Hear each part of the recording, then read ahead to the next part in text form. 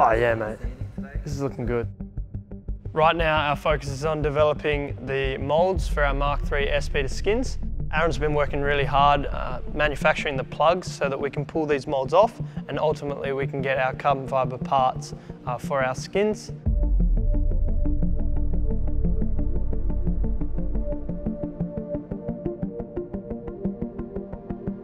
Our progress has been going quite good.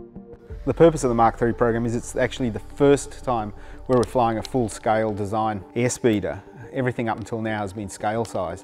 So this is a, uh, one-to-one -one airspeeder capable of lifting 150 plus kilos. That's going to lead into the Mark IV, which is the manned flight program. It basically is going to set the groundwork for our concepts for testing chassis, propellers and motors.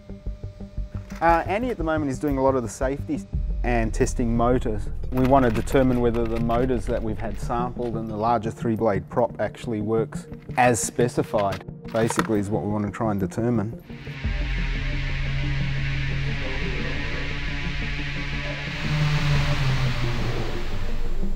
Pretty awesome. Now that the moulds are finished, we're going to move on to pulling the carbon fibre parts off of these moulds. So there are many reasons why we have chosen to use carbon fibre for our airframe. As we are building a race vehicle, it is really important to save weight and the fact carbon fibre is so lightweight uh, allows us to get the best power to weight ratio possible.